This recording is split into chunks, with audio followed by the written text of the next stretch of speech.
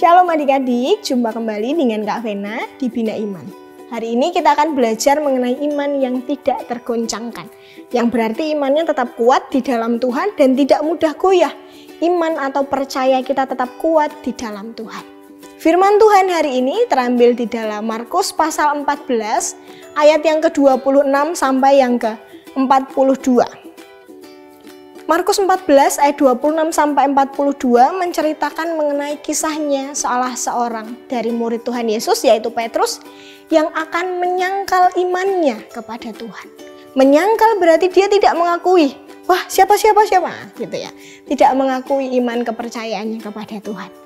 Di dalam Markus pasal 14 ayat 27, Kak Fen akan bacakan.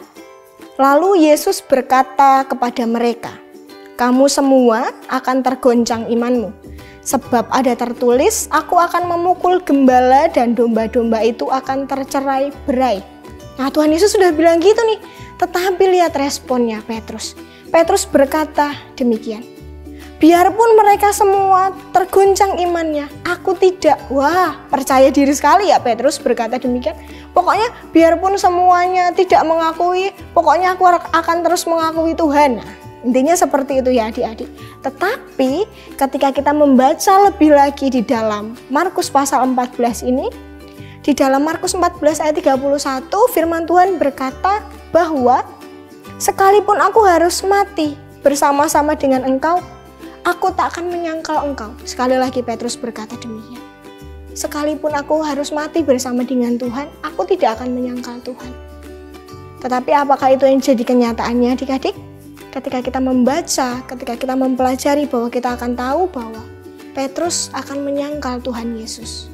Kita mau lihat di dalam Injil Markus pasal yang ke-14 ayat 30 berkata bahwa sesungguhnya pada hari ini, pada malam ini juga, sebelum ayam berkokok dua kali, engkau telah menyangkal aku tiga kali. Wah, Tadi Petrus yang begitu percaya diri Tuhan, aku tidak akan menyangkal engkau. Tuhan, aku akan terus bersama denganmu Tuhan, Tuhan. Tetapi ketika kita melihat kenyataannya bahwa Petrus menyangkal imannya kepada Tuhan. Wah, dengan penuh percaya diri mengucapkan Tuhan tidak, tidak, tidak. Tetapi pada akhirnya dia menyangkal imannya dan imannya goyah adik-adik. Adik-adik semua sering kali kita diperhadapkan dengan begitu banyak masalah ya yang membuat kita bohong, tidak mau mengakui seperti Petrus nih ketika dia melihat Tuhan Yesus mulai dibawa. Lalu Tuhan Yesus mulai diperhadapkan, Tuhan Yesus mulai disiksa, dia ngikutin.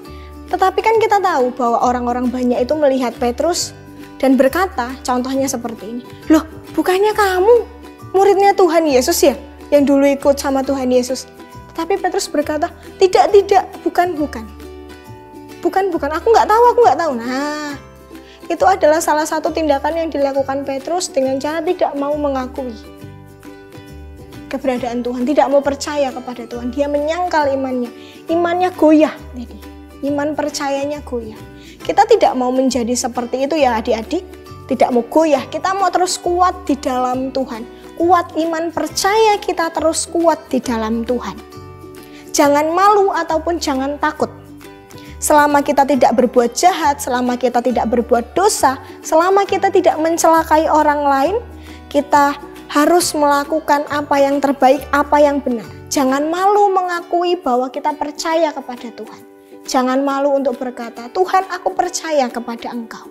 Oleh sebab itu, adik-adik, bagaimana dan apa yang harus kita lakukan supaya iman kita tidak tergoncangkan? Yang pertama, adalah jangan khawatir. Tetapi kita mau terus percaya, terus berserah semuanya kepada Tuhan.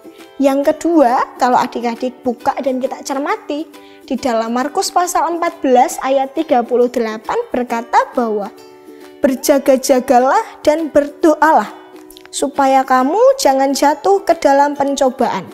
Roh memang penurut tetapi daging lemah. Yang pertama tadi jangan khawatir atau jangan takut. Yang kedua, kita mau tekun di dalam doa, tekun di dalam berdoa dan juga melakukan kebenaran firman Tuhan.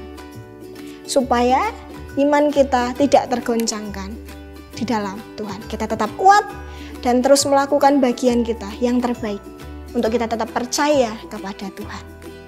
Itu saja yang bisa Kak Vena sampaikan hari ini. Tuhan Yesus memberkati.